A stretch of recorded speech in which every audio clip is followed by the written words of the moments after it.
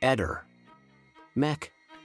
Pallister. Nella città di Cisterna di Latina si è consumata una tragedia familiare che ha scosso la comunità locale. Il protagonista di questo tragico evento è Christian Sodano, un finanziere di 27 anni, che ha sparato e ucciso la madre e la sorella della sua ex fidanzata, Desiree Amato, in seguito a una lite. L'episodio si è verificato nel popolare quartiere di San Valentino, lo stesso dove viveva Desiree Mariottini, la giovane vittima di un altro efferato crimine nel 2018. Le vittime, una donna di 46 anni e sua figlia di 19, hanno perso la vita in circostanze terribili, durante una discussione tra Sodano e Desiree Amato, con la quale aveva da poco concluso la relazione, le due donne sono intervenute in difesa della giovane. Momento in cui il finanziere ha estratto l'arma e ha sparato. Desiree Amato, 22 anni, è riuscita miracolosamente a salvarsi rifugiandosi in bagno, dove è rimasta nascosta fino all'arrivo delle forze dell'ordine che l'hanno trovata in stato di profondo shock. L'autore del duplice omicidio, dopo il tragico gesto,